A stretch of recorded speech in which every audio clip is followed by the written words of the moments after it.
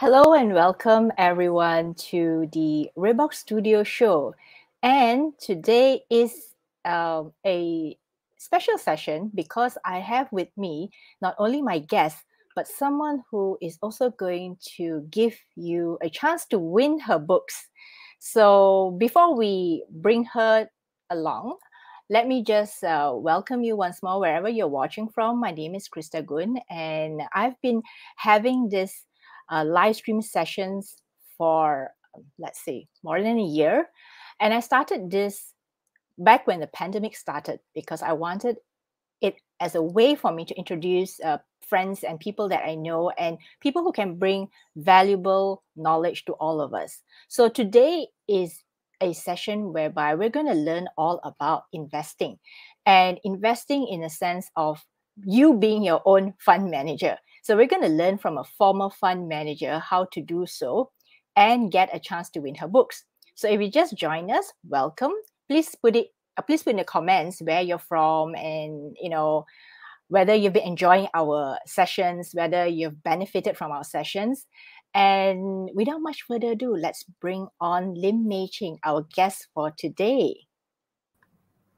Hi, Krista. Hi, Mei Ching. How are you today?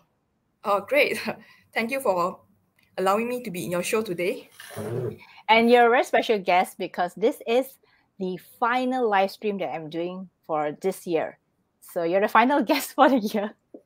Before oh, so we wrap up, before we wrap up for the year, because we're all like taking a break. And today you're going to share with us some interesting things from your book. And of course, for viewers, they have a chance to win your book. But before that, Mei Ching, uh, tell us a little bit about yourself and how you got to writing your book and what why did you write the book? Okay. Um, basically i have been in the fund management uh, investment banking industry for the past 12 years. I started off in uh, 2007 i joined osk investment bank as a management associate as a trainee so I was rotated to a few departments like corporate finance, research, asset management, and debt capital market. Then after that, I went to rating agency and I also joined uh, FIM Asset Management and Gibraltar BSN as a fund manager. So in totality, I have been the investment banking for 12 years.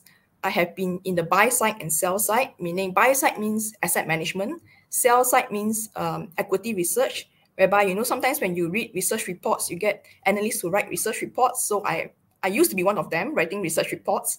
And uh, and and i left a fund management industry last year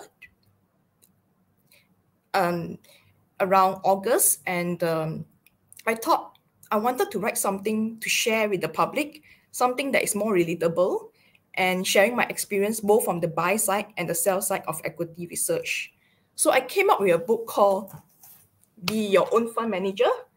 Basically, this book is about fundamental analysis and technical analysis, and it combines both FA and TA into a book, and also include portfolio management, how fund managers actually manage a portfolio of stocks.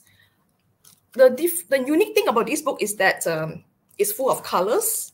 Um, and uh, a lot of examples and also some humor. I injected some humor so that it's not so dull because um, there are a lot of investment book out there that is all plain black and white, but mine is full of colors. And I'm sure if you read the book, you will laugh about it as well.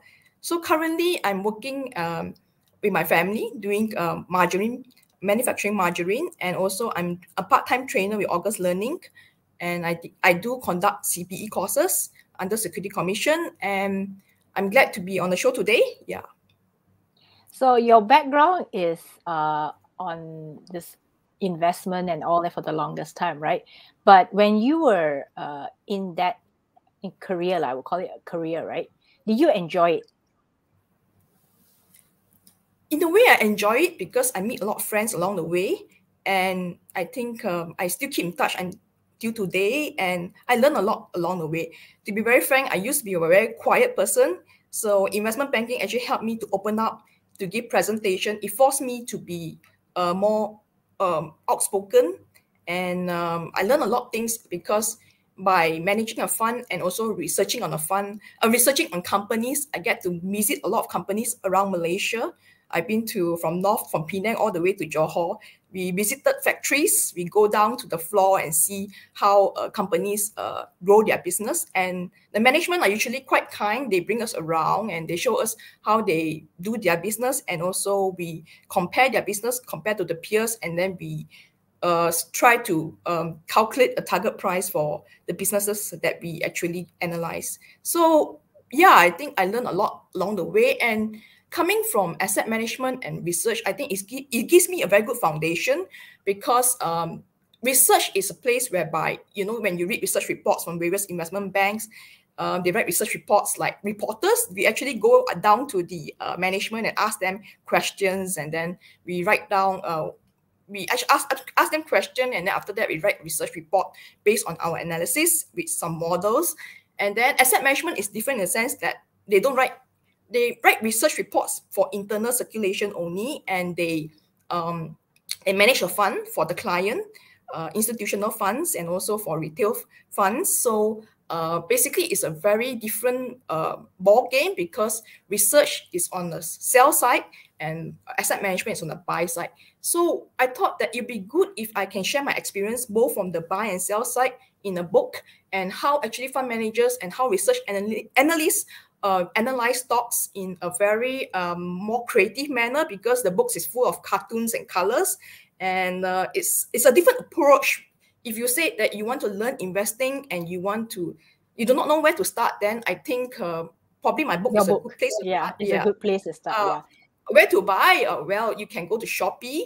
It's uh, you just click the word "be your own fund manager" and you will see a few uh, lists of uh, "be your own fund manager" in Shopee. Yeah, it's also available in bookstores like MPH, Kinokuniya, uh, Gerak Budaya at the moment. Okay, so before we get into uh, what you want to share with us today, let me say some quick hellos to some people who have just put their comments in. So, hi Marika, Marika is a friend of mine all the way from the Philippines. Hi, Marika. Glad to see you here with us. And there's uh, Ong. Uh, not sure whether it's your friend or my friend. Sometimes people come on Facebook with you know different names, and you know some people use their spouses' Facebook uh, profiles to access us. So I get all kinds of friends logging in. So I hope I know you, Ong. But if I don't know, maybe you're you are Mei Ching's friend. So welcome. So today, since we're we're uh, talking about investing, uh, I just like to let everyone know that they will get a chance to win your book if uh, yeah if they're lucky enough or if they are quick enough or if they pay attention. So that's the key, that's the clue for all of you. So you have to pay attention because Mei is going to share some very interesting information with all of us. And i think this is a very apt topic for now because a lot of us are looking at different avenues, right? I mean, different avenues to either earn money, make money, do something with our money. So I think this is a great starting point. And how long did it take you to write the book, Mei Ching? It took me about a year, and I believe the pandemic helps me in writing it, in speeding up because there's nowhere to go. I was locked down in the house, and uh, it's so boring. The pandemic actually is a good thing um, well, good thing the blessing, like blessing for some of us, like, okay. I mean, for there's some people who are really struggling, and we really yeah, empathize really with those yeah. people. Yeah, it's but for sad. some of us, like we're at home, we we don't know what we can do. I mean, well, in your case, you wrote a book, right? Yeah, so that's a great, great milestone. Thank you. Okay, then there's your. I think this is your friend, Leon. Hi, Leon. Okay. Welcome to the show, Leon. So, everyone here who's uh, watching us, please leave a comment or please. I'm not mistaken, Leong is a fund manager as well. So Oh, okay. So all all your fund manager friends are here to support you. That's great. Okay, so let's get started with today's uh, information sharing. So shall I just uh, bring the slides up? Sure. Okay. Um, so as a start, this is a disclaimer. This presentation is only for educational purposes only, and we do not offer any advice on buy or sell recommendation on any particular stocks, and therefore not liable for any trading and investment decision. Next slide. So it's good to get that uh, mentioned first, right? Yeah. So where, how do we start investment? Where, where, what to do?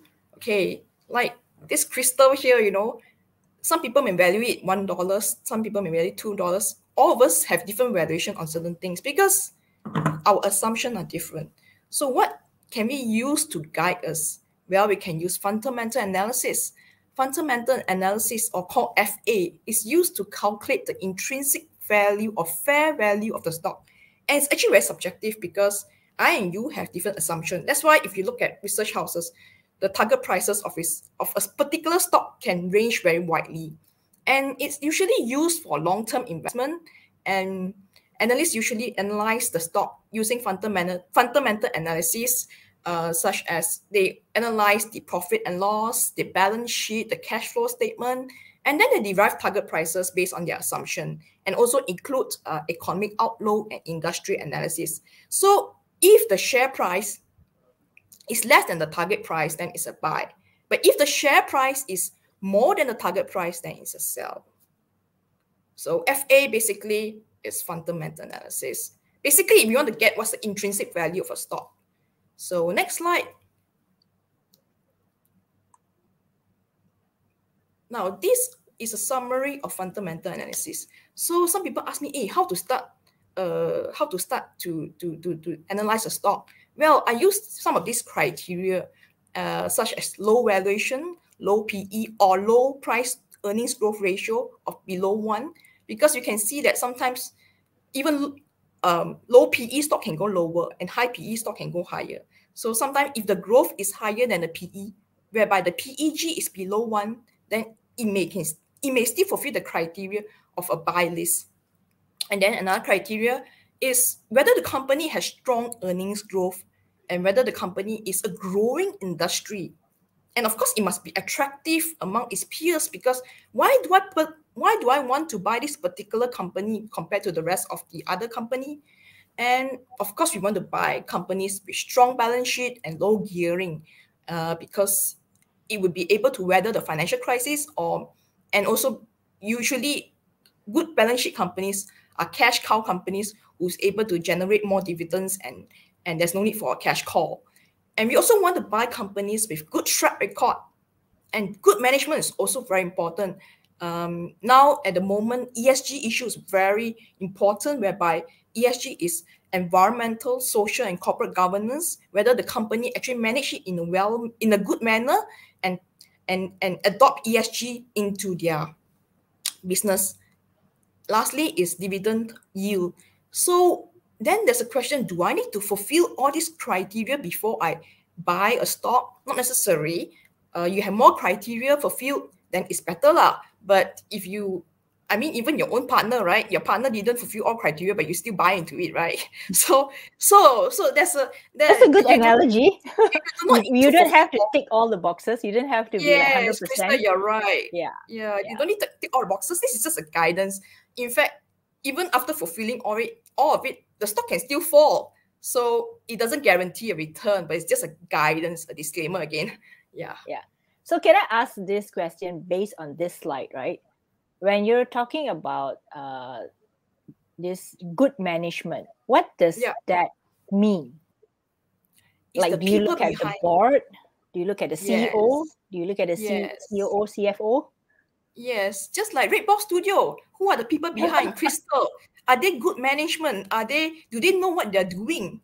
Are they just sitting on the board because because you know because of any reason why they're sitting on the board? Do they know uh, because they are the drivers of the company? Do they really know understand what they're doing? And um and who are the people they employ? It's the people that drive the company. It's not just the management alone. The people and the management and the employees all has to be taken into account in order to define what is good management. And of course, different the good management may differ among people as well. You may say it's a good management. I may say, I may say it's not a good management. So it's a different perception. It's, it's quite subjective, right? Sometimes. Yeah, it's very subjective. yeah, so so that's also the case, right? Sometimes people say, "Oh, this is a good management," or "This, uh, these are good people," right? But we all we all know that good people do leave a company, right? Yeah. Good, good, people do actually, you know, eventually they do leave when they resign and all that. So that's also quite a subjective thing. But I just wanted to ask that because this uh, definition of good, I mean, it varies from person to person. It varies from people to people, right? Agree. Yeah. It's a very subjective Okay, so- thing. yeah it's very subjective and then but this okay let's uh look at uh this one the one the first one low forward price earnings ratio or price earning growth with ratio below one so i think you do have a formula for this right Yeah, more details in, in my book. Yeah, there's a formula for it. More details are in my Yeah. book. Yeah. yeah so for people who are really beginner beginner they'll be like what how so i i have to let people know that there is a formula for this like so it's not just like you know Yeah. you can google it up like. i mean this is also very But even this is very subjective. What is low? You Mm. know, what is Yeah. what is low? Like a price, you go to shopping mall, you buy an item. Yeah. What is low to a person may not be low to another person. So it's very subjective. Yeah.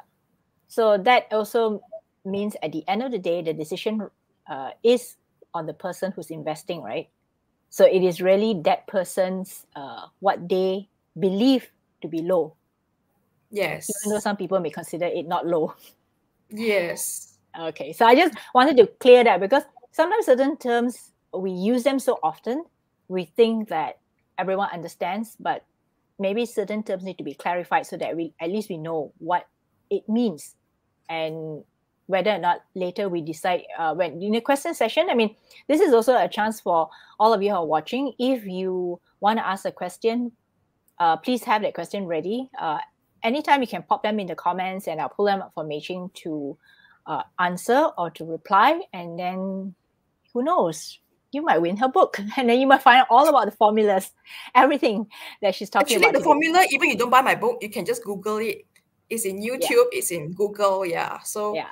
So it's not, it's not a, it's like a mystery thing, like yeah. But no, no, it's, but it's a you can you can read yeah but you can read her book and you can find out more because she uh, one thing about your book Mei that's interesting is that you do give um, examples right and i think the examples are the ones that help people understand even more not just the technical information but there are examples inside your book okay so can we move on to the next slide Sure.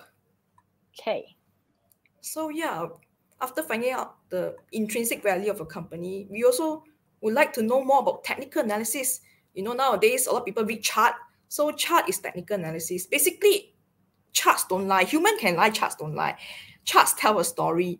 It gives you a better entry and exit level for the stock. And it's based on a historical trend. It's usually used for trading purposes short-term uh, trading and by using technical analysis, we see whether the buyers is in control or the sellers in, is in control. And basically, there's a psychological pricing because everybody look at technical analysis. So some other how is a self-fulfilling prophecy. And therefore, we should take into account technical analysis and champo together with our fundamental analysis so that we become FATA, FATA. FATA in Chinese is called the FATA, you know, is uh, Yeah. prosper prosperous- prosper yeah prosperous prosperity But it doesn't mean that- I apply FATA strategy, I become FATA. Yeah. A lot of people apply but still don't become FATA. So it's just Yeah. it's just a joke, you know. It's just a yeah, it's just called a FATA strategy, but it doesn't mean that you apply both. Like this year market has been so bad, our Malaysian KLCI. So even if you apply FATA strategy, there will be some stocks that you don't make money as well. So yeah.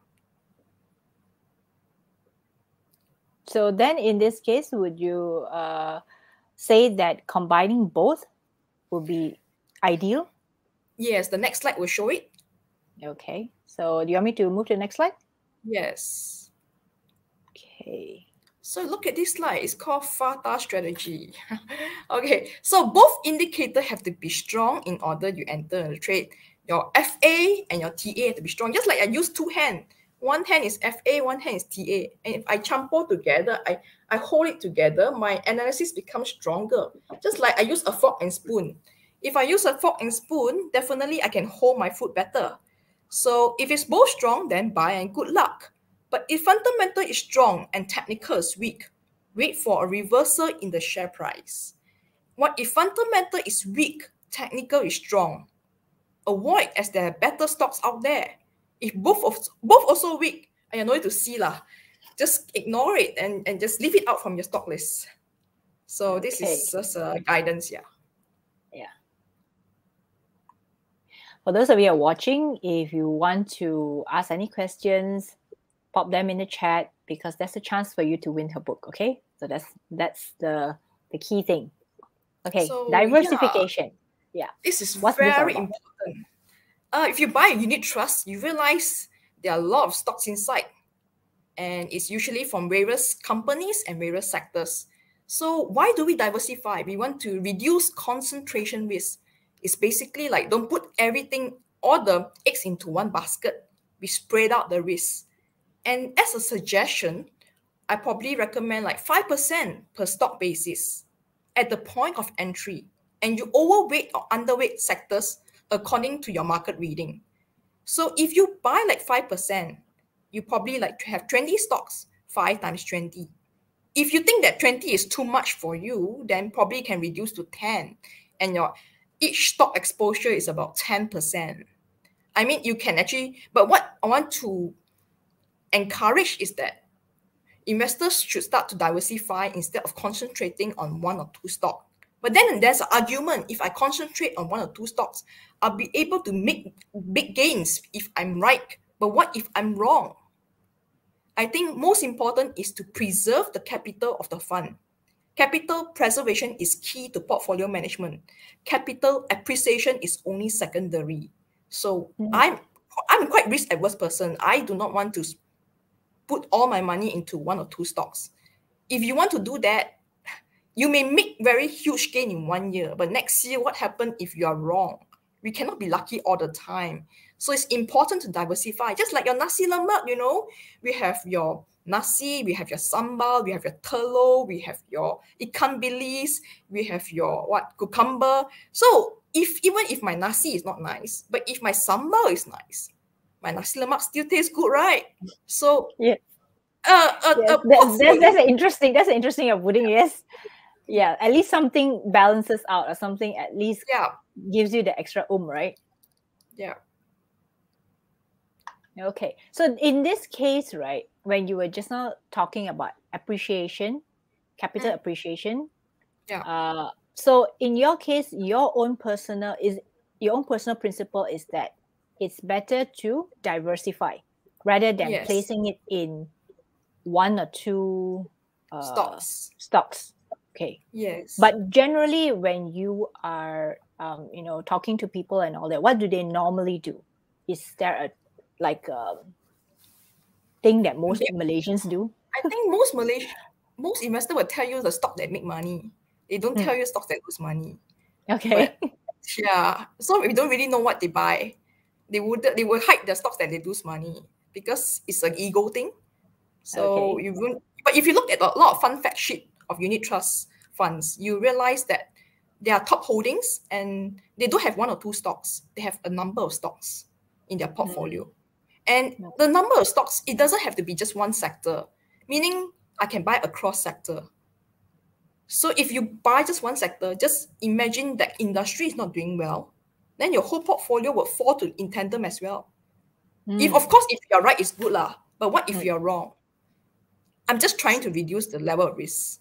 Okay, so in this case, for instance, if the technology sector, some people love technology sector, yes, right? Yes. Because yes. that's like, oh, everything is towards technology, so people want yes. to invest in that.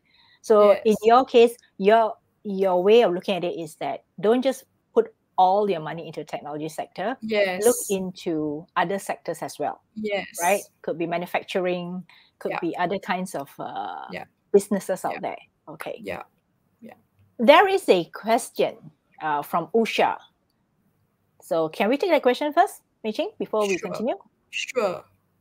Okay so usha's question is some say low gearing means the company is not spending enough on growth or innovation. What is your view? Hmm. Interesting question, Usha.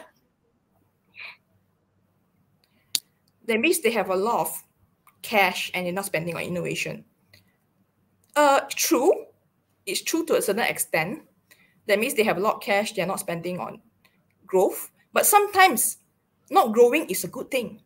You can open, okay, my parents used to run business and they can open a lot of outlets. But if the outlets, outlets is not doing well, what's the point? Most important thing is having money enough to weather a crisis like this pandemic. A lot of us didn't foresee it. And companies that with high gearing are not being able to weather the storm. they have to do more cash call, need to borrow more money, which is very dangerous. So I do agree to a certain extent that sometimes keeping, too much cash is not a good thing. But if you look from another point of view, when there's a crisis, cash is king. Cash will be able to give you the ability to weather a crisis, which is very important, and the ability to give you dividends because they have enough cash. I hope that answers your question, Usha. That is uh, Mei Ching's view on low gearing. So, uh, Mei Ching, if you could, could you explain a little bit the definition of low gearing? Maybe for some people they may oh, not understand that. Low yeah. gearing is basically there's um a lot of cash lah. Basically, yeah, more a lot of cash in their uh maybe maybe their debts is very low, hmm. low debts, low, low level of debts. Yeah. Okay, and I think he, someone here mentioned uh, Tony Pang. Low gearing could also refer to scaling up without borrowing to pump up growth. Okay, thank you. Thank you for your comment. And then, oh, we, we have another comment too. Interesting. Uh, if an investor bought the stock at a very high price, should he or she cut loss or hold, assuming company and industry have good future prospect? What is your view? Hmm firstly, when you say you bought at very high price, meaning that the valuation is very high, why do you enter when you know the share price is high? Cut loss, I'm pretty sure that you mean that the share the share you have bought really lose money. So I have a cut loss policy of 25%. I try not to let it fall more than 25%. So just say I buy 5% of my portfolio, I buy a particular stock and I lose money if I cut at 25%, I only lose like 1.25%, which is very, very minimal. So it's easy for me to make a comeback in my fund. So cutting loss is very important. In fact, I'll be going on the next slide that cutting loss is very important. That's why sometimes robot can do better than humans sometimes because they have no feeling. If it's a threshold to cut loss, they cut loss. But because we have feeling, we have attachment, we think that this one sure can jalan one, sure can go one. But it doesn't jalan and it go downward how? What should you do? So cut loss is very important. Assuming that the com- com- company has good prospect, future prospect, probably because you already entered the trade, that's why you think there's a future good prospect. Maybe you ask your family or your friends, do they really think that this company has a good future prospect? It may differ according to other people as well. So um, what is good prospect to you? In fact, when you open a business, definitely you think it's a good prospect. That's why you open the business. But when you are in it already, you have no choice. Bad prospect also you carry on. And you do not want to cut loss because you want to, you cannot take the, the losses, which is very dangerous. Uh, I just want to mention that investing, it doesn't mean that you definitely make, make money. If that's the case, everybody will be rich but it doesn't even if you, F, you employ this FATA strategy, you can still lose money. So it's very important to cut loss. In fact, so it's not a it's not a guarantee, lah, right? We, we can't say like yeah, you yeah. you know FA and TA, right? Doesn't mean it's a guarantee no. that you you know will make money in the no. in the market. Yeah. No. So in this in this um question or comment, uh, so it means that uh, people should not buy when it's at a very high price, correct? Yes, yes. But what is so, high is also very subjective. So yeah. use your FA to find the target price, to know the intrinsic value of a stock before going in, so that you know at what level you should enter. You should only enter if your intrinsic value is higher than your current share price, or the fair value or the target price is higher than the current share price. If your share price is above the intrinsic value, then don't buy for instance, if this pen, say, is worth two ringgit, I, I enter at 250, then then the chances of losing is there. But if I enter at one ringgit and the fair value is two ringgit, then there's upside potential. So that's why it's very important before you enter into trade to know the intrinsic value, the fair value of the stock before entering. So that's mm-hmm. why we should use fundamental analysis in our stock selection to find the fair value of a particular stock. Mm, okay, great advice. Okay, now we can move on. Uh, hope that answers your question, Ong. Uh, the next slide. Okay. Yeah. Uh, so this just now fits in exactly losses. right. exactly Yeah. like what you were talking about. Yeah, I think you know, cutting loss seems like a simple thing, but not everyone can do it because we are all humans. Robot can do better than us, definitely. And if you really, really think that's really good potential and you really sayang to cut loss, then maybe you cut half lah at least. But try not to average down lah, if possible, unless technically there's a rebound. Because if you average down, meaning you go down, you buy more, you go down, you buy more, what will happen? You'll be more deeply attached to the stock and you do not know how to get out. Now, everyone knows how to enter a stock. It's very simple, just buy. Mm. But do we know how to get out? And that's the key to portfolio management is when to get out. Even getting out at a loss is also very crucial. It's very, it's very crucial because it limit your losses. Now, when you cut loss, you're actually buying an insurance for your fund. So my suggestion, do not be egoistic. Admit your mistake. I, for one, have cut loss as well. I've never been right all the time. I'm only human. If the person tell you they never lose money before, I I I really doubt so because Don't, don't really trust what that person is saying, right? yeah, yeah. I mean, I, I'm just being very Realistic, Frank, pragmatic, right? yeah. yeah. yeah. I'm just being I'm just telling the truth. Yeah. Yeah. Don't be Yeah. egoistic. So one of the way to do a be a good portfolio manager is to be humble. Humble in the sense that I am wrong. I can be wrong because I'm human. Yeah. So it's fine to be wrong. So long as you have more stocks that is doing well compared to stocks that is in the losses, then mm-hmm. ultimately you still make money because as I said, my ro- my nasi lemak doesn't just consist one or two stocks. My nasi lemak consists of many stocks. So I can afford to lose even if one of it doesn't turn out well. Okay. Let's go to the next slide, right?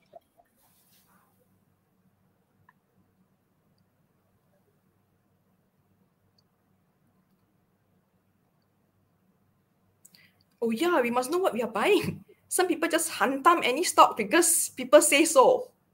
So actually, when you buy a stock, we have to look through the websites or annual reports. We have to study the company. And it'll be good if you can buy stocks with one or two few one or few business structure. At least you understand what you buy, what you are buying. Even when you are doing business, it's important that you understand the business structure so you know when to exit. What what does that mean? Business structure.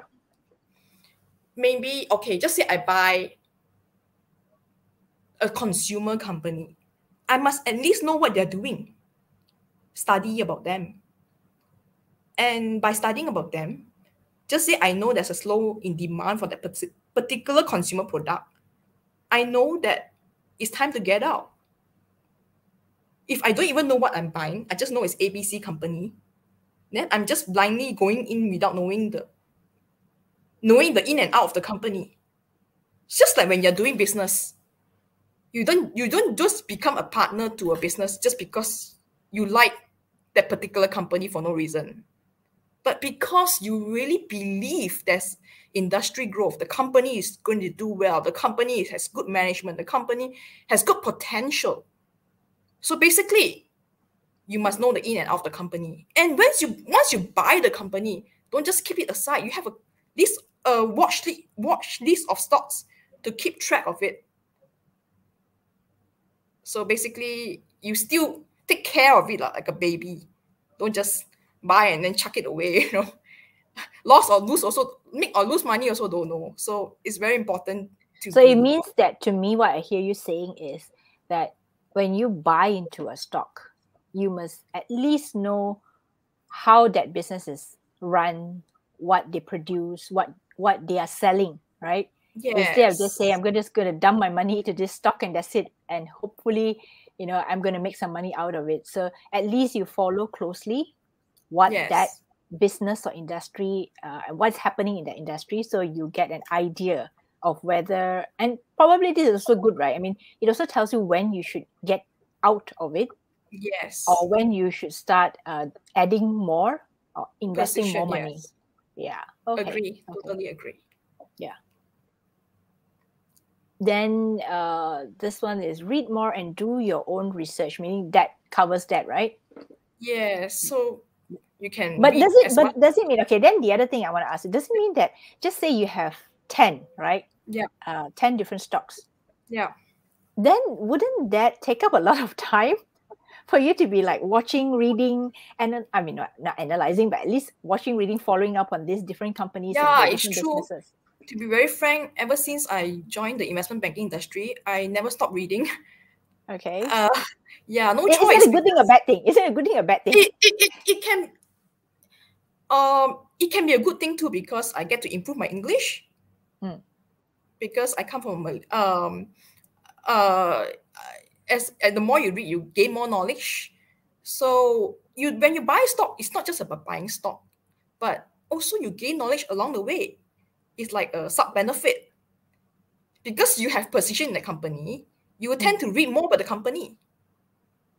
And, and you tend to put more of your focus into that particular yes business and people talk about the company because you are a shareholder you somehow you know a lot of things about the company because you read about the company and you don't just read about the company you also read about the industry. Mm, whether the industry is on uptrend downtrend and you can also discuss with your family or friends so that you have an another opinion. When i was working as fund yeah. Yeah sorry. That, that that makes for a very fun family dinner. You can get to talk about so businesses that you invest in. Uh, hopefully you don't argue. You don't end up arguing. Yeah. because everybody have different thoughts of things because Yes. that's why there's no right or wrong you know. That's why there's a buyer there's a seller. Yeah. Uh, it's not buyer all the way or seller all the way. And it's only when buyer and seller match that's how you come up to a price. Yeah. So, for those of you just joined us, remember we're giving away Mei Ching's books. So, what I want you to do is you just ask a question. Okay, ask a question, and we'll pick most interesting questions to win her books. I'm not telling you how many books we're offering, so we'll see which are the more interesting ones, right, Mei Ching? Interesting question, interesting comment. Also, it's not only questions. So, if you have comments, just say you have your opinion and you have a comment. Please also add in your comments and then later we will uh, pick the winners from this session. Especially those who are here joining us live lah, okay? So if you're watching this on the replay i'm so sorry. You don't have a chance to win the book but it's only for people who join us live. So okay uh, what were you saying just now Mei-Ching, before i cut you off? Forgotten. Now why we go to the next slide? Okay maybe later when you remember you so that's what i was saying. It is actually um like you have to put some, put in some effort in order to take care of all right when investing in certain businesses stocks you have to really take care of them on your own well, control of emotions so difficult. I've seen some people, wow, the share price crash already. How, how I want to sell? Scared lah, Mm. scared lah. Mm. So we have to be very detached. So I would advise if you want to invest in stock, you have must have good brain power, good control of emotion, and also mindfulness. You know, why do you enter and trade? You probably ask need to ask yourself, and that's Mm. why it's very important to know the fair value of a stock. If you know the fair value of a stock, then if it crashes, you Yeah. know you you know you wouldn't need to sell because it will eventually probably go back to the fair value. Yeah. So so control of emotion. If you have fundamental analysis, I think you will have better control of emotion. And but control emotion is actually very difficult to. I mean, everyone is different. You know, different i mean tolerance. i will also say that logic is logic but until your own money is on the line right yes. people get people start to feel fearful and i know friends some friends i know who mm. they sound very logical but Yeah. when it comes to letting go or like you say cutting losses Yes. they feel very much afraid to do that because they have probably when it goes down, you Invested buy too some much. Yeah. So that's why diversification, as I said, limit to five percent per stock. Mati mati five percent. You know, don't go above that. So there'll be less attachment. So when you have so many stocks, definitely there'll be less attachment. Yeah. Okay So, So but the- but control that- your this is a good this is a good yeah it's a good um thing to to talk about also because this is usually it is like this like when you are looking from the outside right it's easy for you to say oh you know you should do this you should try Yeah. this but once your money is in there and you know that either your money is shrinking or your money is going or gone Yeah. that's when all these fears start to come in and that's where it's very hard to think straight so, that is where want- yeah agree. Yeah. So that's why I never borrow money to buy a stock. It should good be the- advice you should advice. be whatever I put money in the stock, I'm prepared to lose it. So I so it can have- excess money right it's my excess money. Even if something happened to my stock, Hmm. I'm still all right the next day. Because it's not all your life savings right Yeah, it's not my Yeah, it's not going to be my life saving. Because if you borrow money and you invest, you are forced to sell at a very depressed price because you need to return the money back to the lender, which is very dangerous. Yeah. So very important. Never borrow money to invest because I can tell I, I can tell you a, a personal story here. Okay, sure. share many it. many years many many years ago Yeah. i had someone tell me oh you can just go and borrow money from a bank if you want to buy this stock Right. and this person mind you uh, is someone who knows finances and that person is advising me that so i kind of roll my eyes at him i'm like are you sure i mean coming from someone who is from the finance and accounts background to ask people to borrow money to buy a stock so i thought Yeah. that was really bad advice Yeah. regardless of where, what his background is i really thought that it was something not good to tell people Yeah. I think ethically we should tell people stocks is not a guaranteed return. Hmm. You know. And if you borrow money, are you sure that you can make better return from the cost of borrowing? Yeah. yeah. That's true okay next slide So yeah, cash is king. Raise cash level. Sometimes if you do do not have any idea, probably it's a good idea. Probably it means that the market is a bit toppish. And some people may say, oh, I do not know when to enter the market. Well, we can stagger the fund. For instance, just say I have 10,000 and I want to invest 10,000 in a stock. Maybe why not I stagger it to five months? Every month I put 2,000 two times five. By the fifth month, I have 10,000 in, in the stock. So what I mean by staggering is that this month I put two, 2,000, next month I put 2,000. So you, you do not need to time the market in that manner. And sometimes if you think the market is a bit toppish, you can raise the cash level. Taking profit is fine. So when the market is crash again, you have money to enter. If you are fully invested, you have no more money then you may not be able to buy even though you know it's the the, the company is trading at very low valuation. Because yeah so cash is king. It's fine not to have any stock in your portfolio. You know if you think the market is topish, don't go and chase after the stock. As i want to say again it's not a guaranteed return out there. Yeah so cash is king in times of crisis so it means that for instance if i plan to invest 10000 into this uh, abc company yeah I, I shouldn't go in with all my 10,000. I can go in like 2K, 2K, 2K for the next five months so that at least I stagger my Yeah. investment in that particular yes company. Yeah. So that, that allows me to do what? That allows me to actually watch the market a little bit or um in a way because just say you do not know whether the market is you know if the market is on the topish side or in the or near bottom yeah so and also maybe also you don't feel so you don't need to Overwhelmed? invest all in one go you know you know what i'm saying like yeah. instead of Not, not so putting overwhelmed, lah, 10,000 right? yeah not so overwhelmed yeah that's the word yeah not so Yeah, overwhelmed yeah, overwhelmed because suddenly you just pump in 10K. Okay. yeah So for this, in this point in time, I just want to bring up Usha's question. Uh, she wants to know, can you further elaborate on what investing 5% per stock means? Okay. That's a very good uh question. Assuming I have I want to invest 100,000 into stock. Just say I have 100,000, just say 5% of 100,000 is 5,000 each, oh? right? 5,000. 5% of 100,000 is 5%. Uh, but 5% of 100,000 is 5,000. So I try not to go above 5,000. Plus minus lah. I try not to buy 6,000, 7,000. I try to be below 5,000 per stock. Does that clarify the question? Means so that, what means that you you know your max lah, right? Yeah, you know my max, you, yeah. You know your max. So your max is just say 5,000 for this particular stock means that's all I'm going to put in. 5,000 out, out, of, yeah, out of your 100,000, 5%. Yeah. Yeah. Five, so depend, yeah. depends on where what your 100% is, right? So some yeah, people's 100% could be 1 million, 10, right?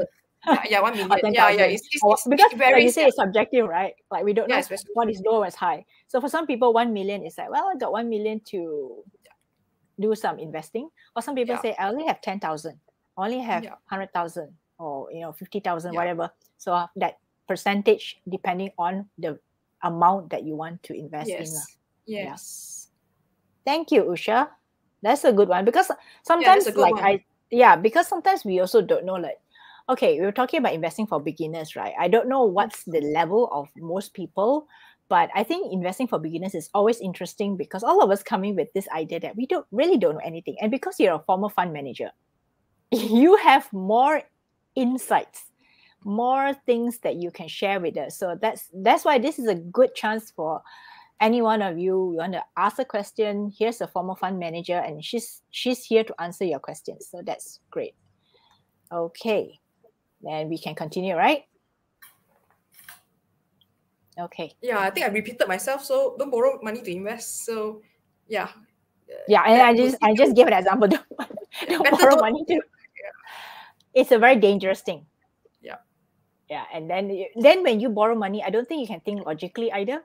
Yes, you have no holding power, which is very important because the stock has is very volatile if you have holding power, you may ride through it, ride through the storm. Okay. Yeah. Next one. So I guess yeah. So this is my book. This is the link. Yeah. Oh, and oh, sorry. Any just sorry. Yeah. Any question and answers? Yeah.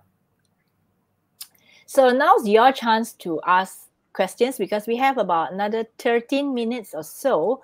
So what I want to do this format is uh, a quick and easy format. So if you want to ask Mei Ching any question that's well outside it's within the topic, but maybe something that you didn't talk about, or maybe something you talked about but they want further elaboration, please feel free to put in your question. So before you do that, um, I want you, so there's this criteria that I want you to do. Okay, put in three of your friends' names because why? We want them to also find this replay and when you find this replay, this is actually good for them to review or to just watch, right? So put three friends' names and then put in your question. Or if you don't have a question, is is fine also. Put in your comment. So I'm not too sure whether the audience today watching they're all fund managers or former fund managers or people who are very well versed uh, in investing.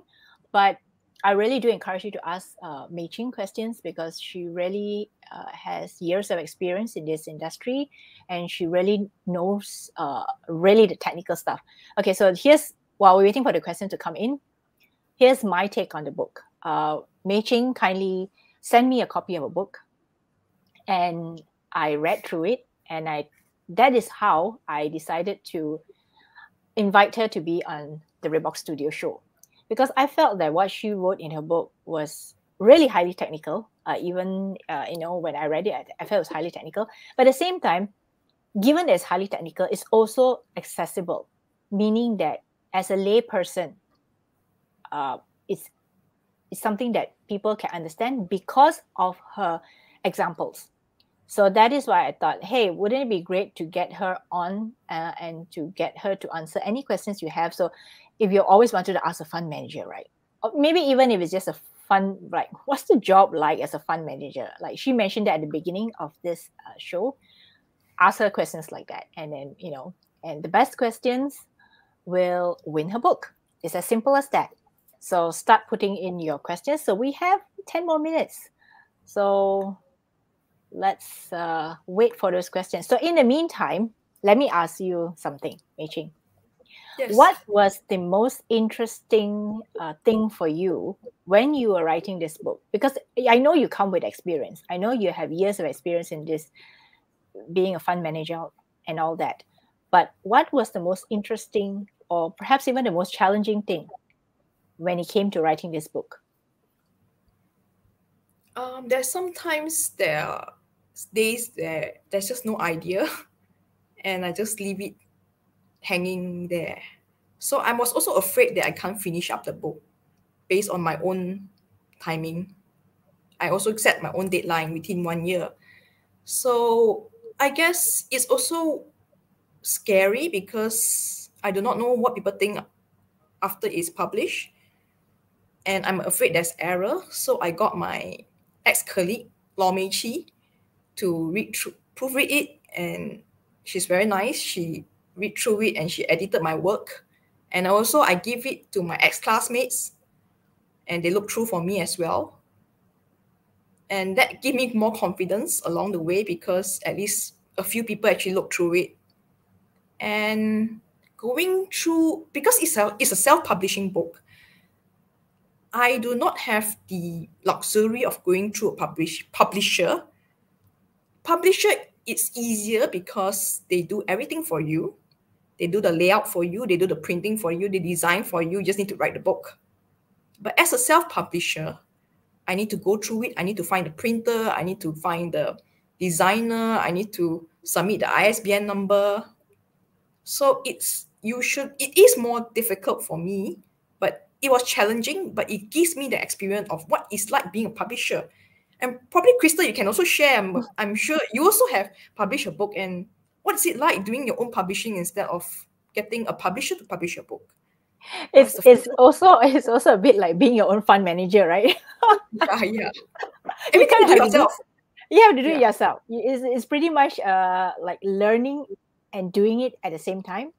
Yes. You experience it, you learn it, you do it, and at the same time yes. you uh through that experience you get better.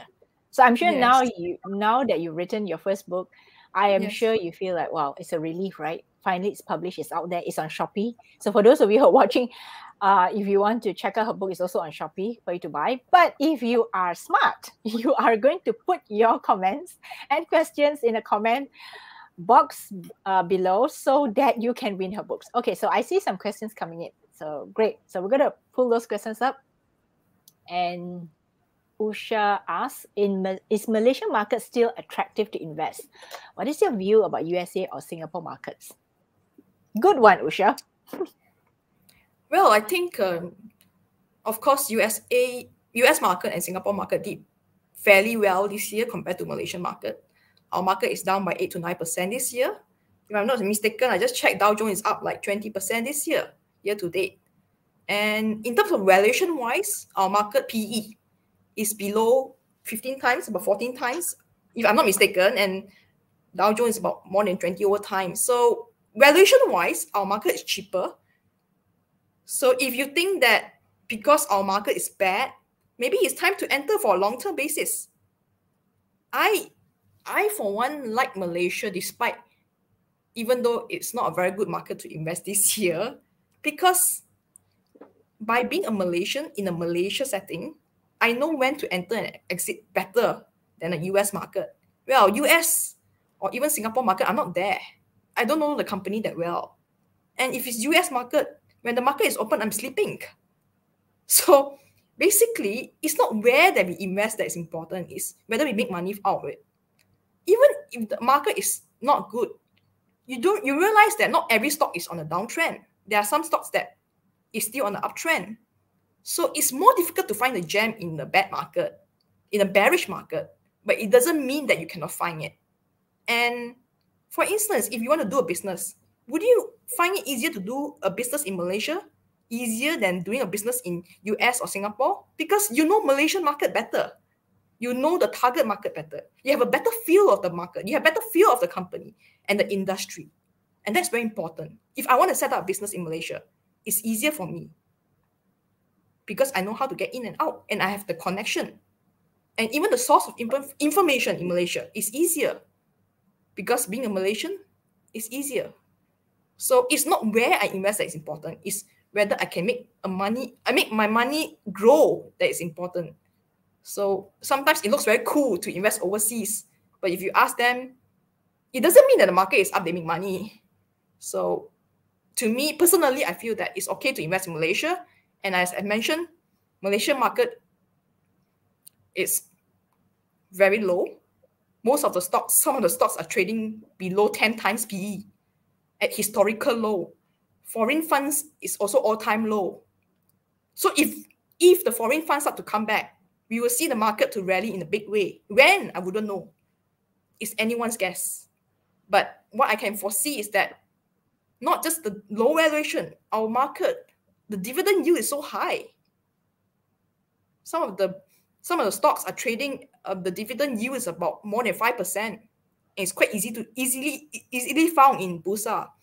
So if you have a long term view, and you you still believe there's a recovery in Malaysian market, I think it's not too bad to buy in a bearish market and keep it for a long term basis. This is a just is this is just my personal view of the Malaysian market compared to US market and Singapore market. I think Malaysia is still a good place to buy. It's really undervalued. And Thanks. yeah. Is are there is there more? Because uh, we have a couple more questions. We have three two more questions coming in. The other thing I wanted to also mention, I remember Mei Ching, you were telling me that Bursa also has some free courses available, right? Yes. yes. Yeah. There, so I think Bursa Academy. I think you can go and Google Bursa Academy. There's some free courses online. So yeah, go go and check it out. It's free. Um, nowadays there are a lot of free courses. So it's very hard for trainer to survive, but it's also a good thing. I mean, um, good thing in the sense that uh, more people are aware of how to improve their knowledge in uh, stock selection and better financial literacy. And so check out Bursa Academy. Um, I think, yeah, I think it's quite easy to find uh, yeah, that, courses free or courses online. Yeah. Yeah. Because of you, I remember when we were talking, you told me about Bursa Academy. So I went and actually checked it out and said, wow, interesting also. Because I didn't know uh, there were these free courses, right? Yeah. That was uh, like teaching people how to invest. I think is this the one.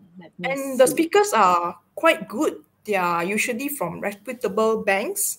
Hmm. They are certified, so they also don't simply yeah. give advice. Okay, so, so I'm gonna put it in the comments. So anybody is interested, they can go and check it out. So this is really uh, useful information that I didn't, I myself didn't know about. So I've put it out in the comments. Okay, let's get to the other question by Leong. For a layman, can you suggest where to find information when researching a company?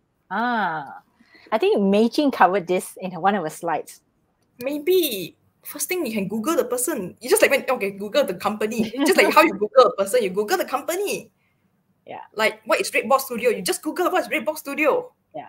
While, while saying that, uh, those of you who are watching, please follow and like us because yeah. we do we do this because we just want to share good information. So please follow and like us wherever you're watching so, this from, whether you're LinkedIn or YouTube or Facebook.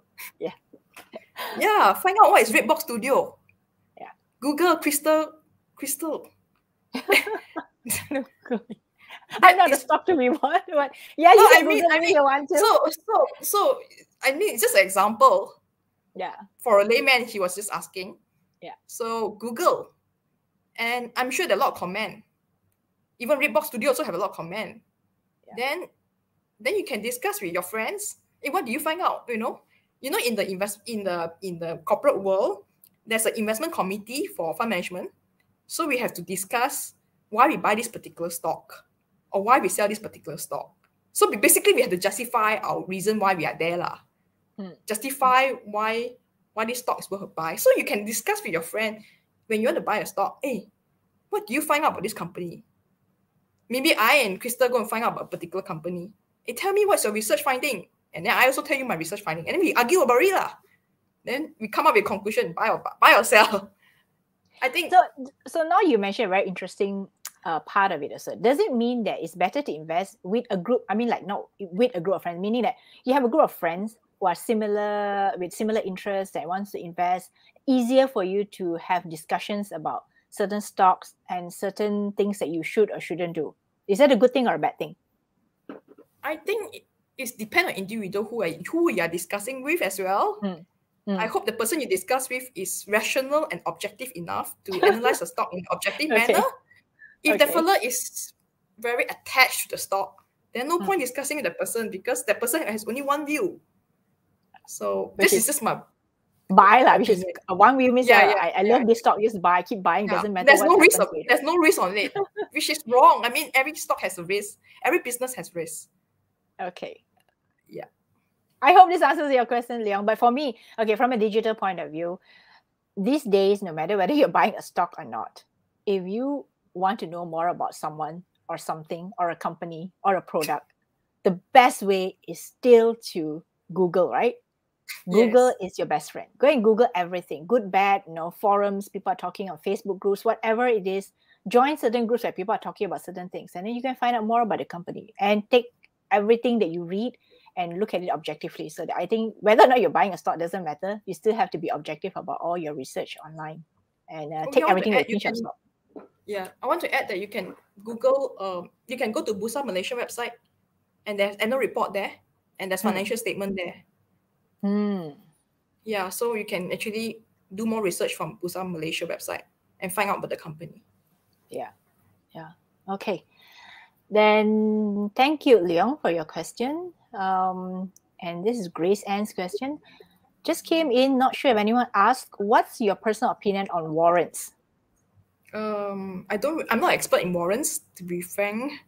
Can, can we define warrants uh, first of all, so that you know people um, don't know? Well, it's a right. Well, I don't have a right definition for it. It's okay, like let me, let me try and buy, Google it. buy something at the yeah you buy something at the at the price at a strike price, and it gives you to buy a, a share at a certain price. Mm. So there's a, a call warrant and put warrant. Okay, so what I found was um, in finance, a warrant is a security that entitles the holder to buy the underlying stock of the issuing company at a fixed price Yes. Called exercise price until the expiration date. Warrants and options are similar in that the two contract contractual financial instruments allow the holder special rights to buy securities. Um, I think it's important to when you buy warrant is not too near expiry because the warrant can be expired, can be, can be near expiry. When we buy too near expiry, then it becomes worthless. So it had to be buy. Make sure that it's in the money. Um, not out the money and uh, so i think you have to do your own calculation in buying the warrant. So you must know what you're buying and you cannot just buy because it's cheap but you have to calculate the price of the warrant before you enter into a trade. Okay. I think she has another question. Grace Ann has two questions. What is the appropriate amount of time to spend while researching stocks? Thanks thanks for tagging your friends uh, grace there is no appropriate time actually. Mm. But mm. what's important is that if you know the stock is good, you have to enter at the right time. Don't wait for things to happen. Just say if you know that property is a good property and you still want to wait and wait and wait, people will grab it first at a good pricing. So time wait for no man. Uh, there's no appropriate timing actually. Even at night, you can do researching, eh, whatever time you want to do. But it doesn't mean that you do a lot of research then you definitely make money from the from the from the stock. Some people can do research day in day out, but still make the wrong decision. So it's very important that um how to say basically there's no right or wrong. How many how many how much time you want to spend on on researching the stock? It's just like how much time you want to spend doing that particular business. Is there a time? There, there, is no time. It's very flexible. So long as you understanding what you understand what you're buying that's my advice. Yeah. Understand what oh. you're buying.